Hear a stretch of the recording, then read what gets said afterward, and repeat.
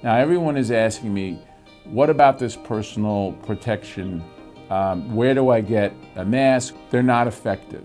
The ones that we're using in the hospital are different kind of masks than the flat masks that you get, either made out of cloth or made out of paper.